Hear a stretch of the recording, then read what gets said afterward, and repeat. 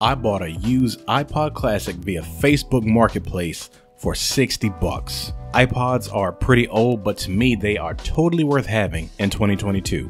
Here's why. The primary reason why I purchased an iPod is because I do not like using streaming services. Call me old school, but I'm just not a fan of them. Any of them. And devices like the iPod are the antithesis of what streaming services offer. What do I mean by that? Well, iPods are offline devices. This means you do not need an internet connection to use all of its features. Now you will have to manually add all of your media to the iPod and that can be very time consuming depending on the size of your library. But if you are willing to accept a few technical limitations, you can have a device that will last you all day and when it stops working, you can purchase replacement parts online and fix it yourself. Follow for more because